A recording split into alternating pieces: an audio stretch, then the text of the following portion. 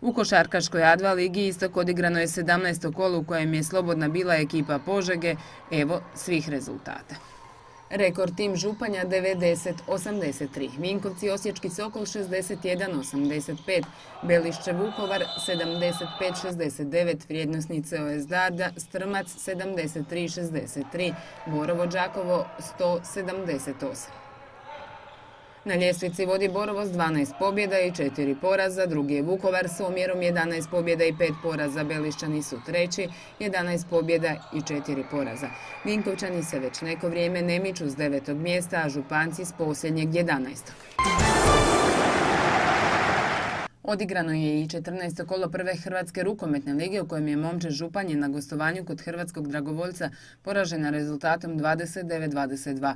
Župancima je to čak 12. ovo sezonski poraz, nalazi se na predposljednjem 13. mjestu, a u 15. kolu u derbiju začelja gostuju kod Nove Gradiške koja je 12. s bodom više. Slavonski brod bio je domaćin prvenstva Slavonije i Baranje u Tekvandovu na kojem je nastupilo devet klubova. Sudjelovali su i to vrlo uspješno i planovi Vinkovačkog sajnamija koji su osvojili 25 odležja, od toga devet zlatnih te po osam srebrnih i brončanih. Najbolji su u svojoj kategoriji bili Divijan Martin Kelava, Ivona i Doris Lukić, Marko Žaper, Dominik Grajfenštajn, Silvija Šarić, Stjepan Jurić, Mija Fenbach i Karlo Šarčević.